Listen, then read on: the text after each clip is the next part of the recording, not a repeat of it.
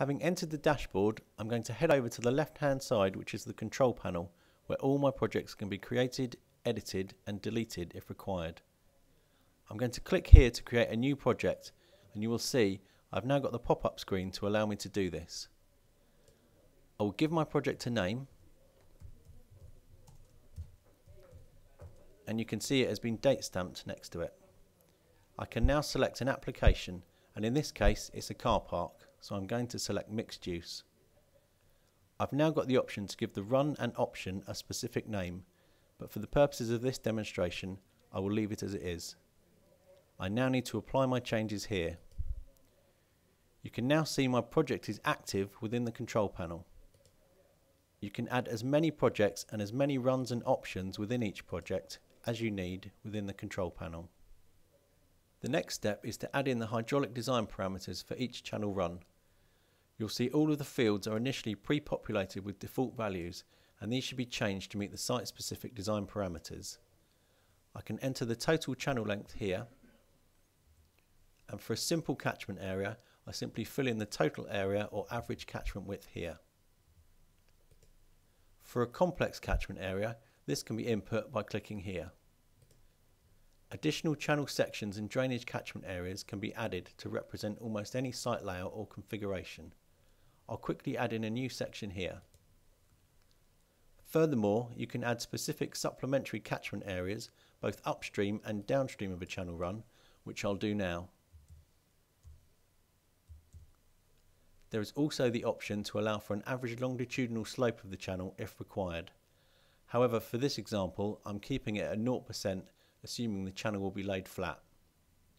Once you are satisfied with the inputs you have made, simply click here to apply them. The runoff coefficient defaults to 1, meaning that 100% of the catchment area will be draining to the channel.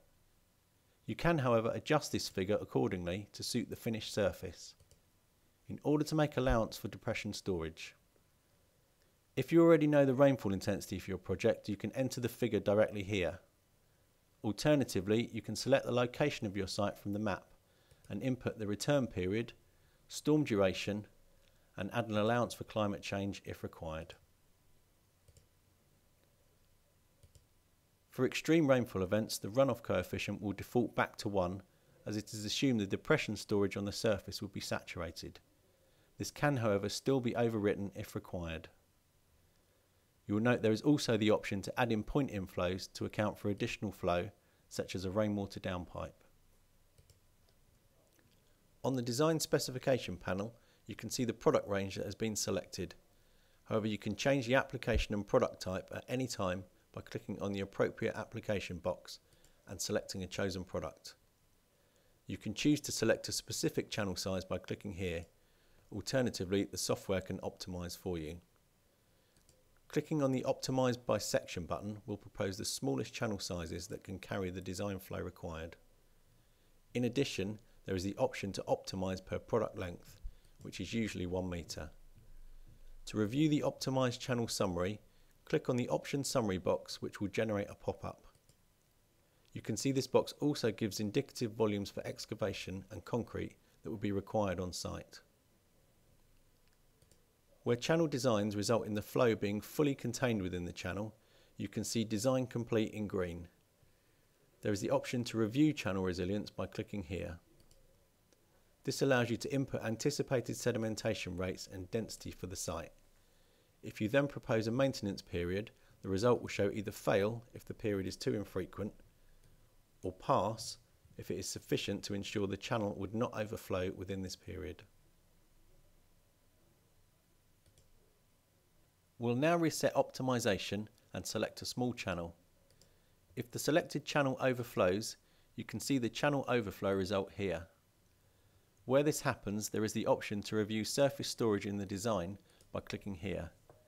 You can see this brings up a pop-up which allows you to input slopes for the drainage catchment area and review the maximum ponding width and depth that would occur at the surface. Can then apply these changes by clicking here. We'll now take the channel size back to a larger product and you can see that the channel status shows design complete. So we can now look at project outputs. Outputs can be provided for either part or all of the project and can be generated in CSV and PDF formats.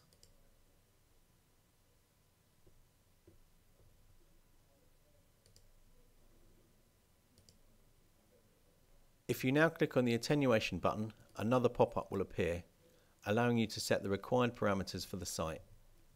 The software has the ability to estimate the approximate volume of attenuation storage that may be required for a project and compare it with the volume of storage available in the chosen channel design.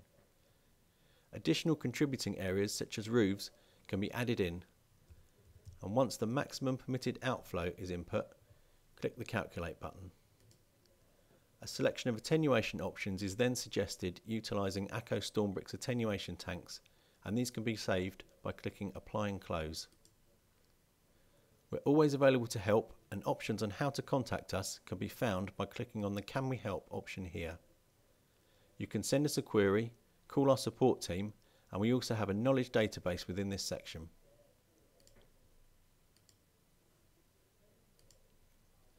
That completes this demonstration of the ACO hydraulic design software. Thank you for watching.